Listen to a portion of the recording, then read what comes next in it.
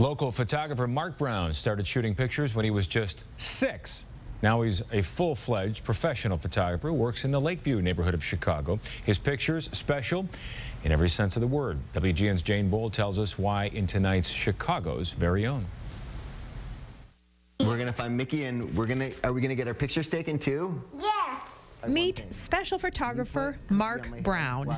Are you ready? Are we gonna have fun? Yes. Okay, let's go. He goes above and beyond when it comes to taking good pictures. His focus is not on the perfect smile, yet capturing the spirit and true essence of a person or an entire family. The word cheese and smile in my studio is like scratching on a chalkboard. Here, Mark plays on the floor with five year old Lucas Levens.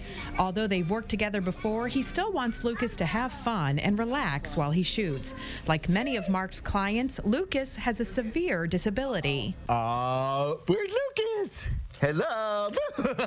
Lucas's mom, Sarah, says he has a rare chromosome disorder. It's very rare. There aren't many children that are known to have it. Um, it's so rare it doesn't even have a name. It affects his communication, fine motor, and coordination skills, among other things. For the most part, he can't sit still or hold eye contact, which makes it hard to get a good picture. We didn't really have many formal photographs of him. Mark's work begins long before the photo session starts. I work extensively with the parents to find out about every child's particular disability. I also do research online. His research pays off. Here are Lucas's shots. Mm-hmm. Just because Lucas has a rare chromosome disorder doesn't mean that we can't have pictures of him. In addition to the special needs photography and family portrait work, Mark is also very passionate about his pro bono work for the Make-A-Wish Foundation and the Elizabeth Glaser Pediatric AIDS Foundation.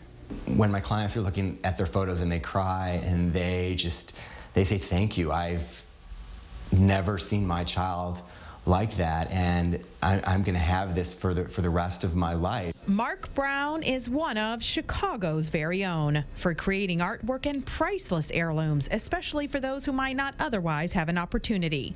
Jane Bull, WGN News.